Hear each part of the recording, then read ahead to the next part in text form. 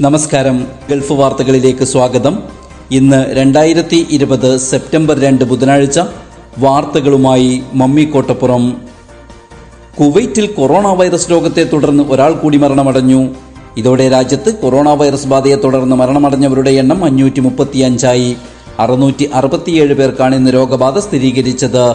ഇതുവരെ corona virus ബാധയേറ്റവരുടെ ആകെ എണ്ണം എൺപത്തിയാറായിരത്തി നാനൂറ്റി എഴുപത്തിയെട്ടായി ഇന്ന് അഞ്ഞൂറ്റി അമ്പത്തിരണ്ട് പേരാണ് രോഗമുക്തരായത്. ഇതോടെ ആകെ രോഗം സുഖമായവരുടെ എണ്ണം എഴുപത്തി എണ്ണായിരത്തി ഇരുന്നൂറ്റി ഒൻപതായി നിലവിൽ ഏഴായിരത്തി എഴുന്നൂറ്റി മുപ്പത്തിനാല് പേരാണ് ഇപ്പോൾ ചികിത്സയിൽ കഴിയുന്നത്. തീവ്രപരിചരണത്തിൽ കഴിയുന്നവരുടെ എണ്ണം തൊണ്ണൂറ്റി രണ്ടായി കഴിഞ്ഞ ഇരുപത്തിനാല് മണിക്കൂറിനിടയിൽ നാലായിരത്തി നാനൂറ്റി ഇരുപത്തഞ്ച് പേർക്കാണ് കൊറോണ വൈറസ് പരിശോധന നടത്തിയത്. സൗദി അറേബ്യയിൽ ഇന്ന് തൊള്ളായിരത്തി തൊണ്ണൂറ്റാറ് പേർ കൂടി കോവിഡ് മുക്തരായി. എണ്ണൂറ്റി പതിനാറ് പേർക്ക് പുതുതായി രോഗം സ്ഥിരീകരിച്ചതായും ആരോഗ്യ മന്ത്രാലയം അറിയിച്ചു. ഇരുപത്തിയേഴ് പേരാണ് മരിച്ചത്. വിവിധ ആശുപത്രിയിൽ ഇപ്പോൾ ചികിത്സയിലുള്ളവർ ഇരുപത്തിയോരായിരത്തി ഇരുപത് പേർ മാത്രമാണ്. ഇവരിൽ ആയിരത്തി അഞ്ഞൂറ്റി ഇരുപത്തിമൂന്ന് പേർ തീവ്രപരിചരണ വിഭാഗത്തിൽ കഴിയുന്നു. ഇതോടെ മൊത്തം രോഗബാധിതരുടെ എണ്ണം മൂന്ന് ലക്ഷത്തി പതിനേഴായിരത്തി നാനൂറ്റി എൺപത്തിയാറും മരിച്ചവരുടെ എണ്ണം മൂവായിരത്തി തൊള്ളായിരത്തി അമ്പത്തി ആറായും ഉയർന്നു. രണ്ട് ലക്ഷത്തി തൊണ്ണൂറ്റി രണ്ടായിരത്തി അഞ്ഞൂറ്റി പത്ത് പേർക്കാണ് ഇതുവരെ രോഗമുക്തിയുണ്ടായത്. യു എയിൽ പുതുതായി എഴുന്നൂറ്റി മുപ്പത്തിയഞ്ച് പേർ കൂടി കോവിഡ് നയന്റീൻ സ്ഥിരീകരിച്ചു. രാജ്യത്താകെ കോവിഡ് സ്ഥിരീകരിച്ചവരുടെ എണ്ണം എഴുപത്തിയോരായിരത്തി അഞ്ഞൂറ്റി നാൽപ്പതായി അഞ്ഞൂറ്റി മുപ്പത്തെട്ട് പേർ കൂടി രോഗമുക്തരായതോടെ ആകെ രോഗം ഭേദമായവരുടെ എണ്ണം അറുപത്തിരണ്ടായിരത്തി ഇരുപത്തൊൻപതായി ഇരുപത്തിനാല് മണിക്കൂറിനിടെ കോവിഡ് ബാധിച്ച് രാജ്യത്ത് മൂന്ന് പേർ മരിച്ചു. മുന്നൂറ്റി എൺപത്തിയേഴാണ് ആകെ മരണസംഖ്യ നിലവിൽ ഒൻപതിനായിരത്തി നൂറ്റി ഇരുപത്തിനാല് പേരാണ് ചികിത്സയിലുള്ളത്. കേരളത്തിൽ നിന്ന് ആയിരത്തി അഞ്ഞൂറ്റി നാൽപ്പത്തിയേഴ് പേർക്ക് കോവിഡ് നയന്റീൻ സ്ഥിരീകരിച്ചതായി ആരോഗ്യവകുപ്പ് മന്ത്രി കെ കെ ശൈലജ ടീച്ചർ അറിയിച്ചു. ഏഴ് മരണങ്ങളാണ് ഇന്ന് കോവിഡ് മൂലമാണെന്ന് സ്ഥിരീകരിച്ചത്. ഇതോടെ ആകെ മരണം മുന്നൂറ്റഞ്ചായി. ഇന്ന് രോഗം സ്ഥിരീകരിച്ചവരിൽ ഇരുപത്തിയൊന്ന് പേർ വിദേശ രാജ്യങ്ങളിൽ നിന്നും അറുപത്തിയഞ്ച് പേർ മറ്റ് സംസ്ഥാനങ്ങളിൽ നിന്നും വന്നതാണ്. ആയിരത്തി നാനൂറ്റി പത്തൊൻപത് പേർക്ക് സമ്പർക്കത്തിലൂടെയാണ് രോഗം ബാധിച്ചിരിക്കുന്നത്. ഇതിൽ നൂറ്റി അമ്പത്തി പേരുടെ സമ്പർക്ക ഉറവിടം വ്യക്തമല്ല. മുപ്പത്തിയാറ് ആരോഗ്യ പ്രവർത്തകർക്കാണ് ഇന്ന് രോഗം സ്ഥിരീകരിച്ചത്. എറണാകുളം ജില്ലയിലെ ആറ് ഐ എൻ എച്ച് എസ് ജീവനക്കാർക്കും രോഗം ബാധിച്ചിട്ടുണ്ട്. രോഗം സ്ഥിരീകരിച്ച് ചികിത്സയിലായിരുന്ന രണ്ടായിരത്തി ഒരുന്നൂറ്റി ഇരുപത്തൊൻപത് പേരുടെ പരിശോധനാ ഫലം നെഗറ്റീവായി. ഇതോടെ ഇരുപത്തിയോരായിരത്തി തൊള്ളായിരത്തി ഇരുപത്തിമൂന്ന് പേരാണ് രോഗം സ്ഥിരീകരിച്ച് ഇനി ചികിത്സയിലുള്ളത്. അമ്പത്തയ്യായിരത്തി എഴുന്നൂറ്റി എൺപത്തിരണ്ട് പേർ ഇതുവരെ കോവിഡിൽ നിന്നും മുക്തി നേടി. സൗദി അറേബ്യയിലെ അധീകയിൽ വീട് തകർന്ന് വീണ് മലയാളി അടക്കം രണ്ടു പേർ മരിച്ചു.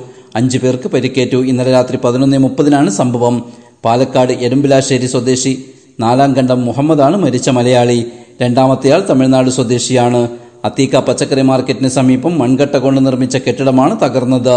പരിക്കേറ്റവരെ ഷുമൈസി ആശുപത്രിയിൽ പ്രവേശിപ്പിച്ചു. വിവരം ലഭിച്ച ഉടനെ civil defence police red crescent വിഭാഗങ്ങൾ സംഭവസ്ഥലത്തെത്തുകയും അവശിഷ്ടങ്ങൾക്കിടയിൽ കുടുങ്ങിയവരെ പുറത്തെടുക്കുകയായിരുന്നുവെന്ന് സിവിൽ ഡിഫൻസ് വക്താവ് മുഹമ്മദ് റഹ്മാദി അറിയിച്ചു. രണ്ടുപേരും സംഭവസ്ഥലത്ത് തന്നെ മരിച്ചിരുന്നു. ഗുരുതരമായി പരിക്കേറ്റ അഞ്ചുപേർ ആശുപത്രിയിൽ ചികിത്സയിലാണ്. മരിച്ച മുഹമ്മദിന്റെ അനന്തര നടപടികൾ പൂർത്തിയാക്കാൻ Riyadh K M C C central committee welfare wing പ്രവർത്തകർ രംഗത്തുണ്ട്. യു എ ഇക്ക് പുറമെ ഒരു അറബ് രാജ്യം കൂടി മാസങ്ങൾക്കുള്ളിൽ ഇസ്രായേലുമായി ബന്ധം സ്ഥാപിക്കുമെന്ന് അമേരിക്കൻ പ്രസിഡന്റ് ഡൊണാൾഡ് ട്രംപിന്റെ മുതിർന്ന ഉപദേഷ്ടാവ് ജെറാഡ് കുഷ്ണർ. യു എയുടെ ഔദ്യോഗിക വാർത്താ ഏജൻസിക്ക് നൽകിയ അഭിമുഖത്തിൽ സംസാരിക്കുകയായിരുന്നു അദ്ദേഹം. ഇരുപത്തിരണ്ട് അറബ് രാജ്യങ്ങൾക്കും ഇസ്രായേലുമായി സാധാരണ ബന്ധം സ്ഥാപിക്കാൻ കഴിയുമെന്നും അദ്ദേഹം പറഞ്ഞു. ഇസ്രായേലിൽ നിന്ന് യു എയിലേക്കുള്ള ആദ്യ വിമാനത്തിൽ കഴിഞ്ഞ ദിവസം ജെറാഡ് കുഷ്ണറുടെ നേതൃത്വത്തിലാണ് യു എസ് ഇസ്രായേൽ ഉന്നതതല പ്രതിനിധി സംഘം അബുദാബിയിലെത്തിയത്. തുടർന്ന് യു എയിലെ വിവിധ ഏജൻസികളുമായി ഇവർ ചർച്ചകൾ നടത്തിയിരുന്നു. നാലാമതൊരു അറബ് രാഷ്ട്രം ഇസ്രായേലുമായി സാധാരണ ബന്ധം സ്ഥാപിക്കുന്നത് കാണാൻ വർഷങ്ങളോ മാസങ്ങളോ എടുക്കുമോ എന്ന ചോദ്യത്തിന് മാസങ്ങൾക്കുള്ളിൽ അത് പ്രതീക്ഷിക്കാമെന്നായിരുന്നു കുഷ്ണറുടെ മറുപടി. ആയിരത്തി തൊള്ളായിരത്തി എഴുപത്തിയെട്ടിൽ ഈജിപ്തും ആയിരത്തി തൊള്ളായിരത്തി തൊണ്ണൂറ്റിനാലിൽ ജോർദാനും രണ്ടായിരത്തി ഇരുപതിൽ യു എയുമാണ് ഇതുവരെ ഇസ്രായേലുമായി ബന്ധം സ്ഥാപിച്ചിട്ടുള്ള അറബ് രാജ്യങ്ങൾ. ഇന്ത്യയിൽ പബ്ജി അടക്കം നൂറ്റി പതിനെട്ട് ചൈനീസ് ആപ്പുകൾ കേന്ദ്ര ഐ ടി മന്ത്രാലയം നിരോധിച്ചു. നേരത്തെ തന്നെ ആപ്പ് നിരോധിക്കുന്നത് സംബന്ധിച്ച് അഭ്യൂഹങ്ങളുണ്ടായിരുന്നു അതിർത്തിയിൽ സ്ഥിതിഗതികൾ വഷളാകുന്നതിനിടെയാണ് ഐ ടി മന്ത്രാലയത്തിന്റെ നീക്കമെന്ന് ശ്രദ്ധേയമാണ്. പബ്ജിക്ക് പുറമെ നിരോധിച്ച ആപ്പുകൾ ഏതൊക്കെയാണെന്ന പട്ടിക പുറത്തുവന്നു. കൂടുതലും ഗെയിമുകളും ക്യാമറ ആപ്പുകളും അടങ്ങുന്നതാണ് പട്ടിക. ചില ലോഞ്ചറുകളും നിരോധിച്ചവയുടെ പട്ടികയിലുണ്ട്. നേരത്തെ തന്നെ ജനപ്രിയമായ പബ്ജി ലോക്ഡൌൺ കാലത്ത് അത്ഭുതകരമായ വളർച്ചയായിരുന്നു സ്വന്തമാക്കിയത്. കേന്ദ്ര ആഭ്യന്തര മന്ത്രാലയം പുറപ്പെടുവിച്ച അൺലോക്ക് നാലാംഘട്ട നിയന്ത്രണങ്ങളും മാർഗനിർദ്ദേശങ്ങളും കേരളത്തിലും ബാധകമായിരിക്കുമെന്ന് chief secretary doctor Vishwas Mehta ഉത്തരവിറക്കി. അൺലോക്ക് നാലാംഘട്ട പ്രകാരം കണ്ടെയ്ൻമെന്റ് സോണുകളിൽ പൊതു ലോക്ഡൌൺ തുടരുകയും മറ്റ് സ്ഥലങ്ങളിൽ ഘട്ടം ഘട്ടങ്ങളായി ഇളവുകൾ അനുവദിക്കുകയും ചെയ്യും. എല്ലാ കളക്ടർമാരും ജില്ലാ പോലീസ് മേധാവികളും കോവിഡ് നിർവ്യാപനത്തിന്റെ ഭാഗമായുള്ള ഈ മാർഗനിർദ്ദേശങ്ങളും നിയന്ത്രണങ്ങളും നടപ്പാക്കുന്നതുമായി ഉറപ്പുവരുത്തണമെന്ന് ഉത്തരവിൽ നിർദ്ദേശിക്കുന്നു. കണ്ടെയ്ൻമെന്റ് സോണുകൾ സംസ്ഥാന ദുരന്ത നിവാരണ അതോറിറ്റി നോട്ടിഫൈ ചെയ്യുന്ന നിലവിലെ രീതി തുടരും.